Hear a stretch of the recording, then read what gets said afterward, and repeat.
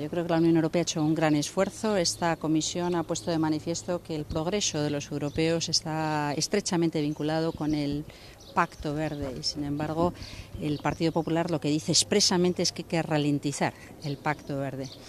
Vemos que en energía hay eh, también algunas eh, cosas que llaman la atención.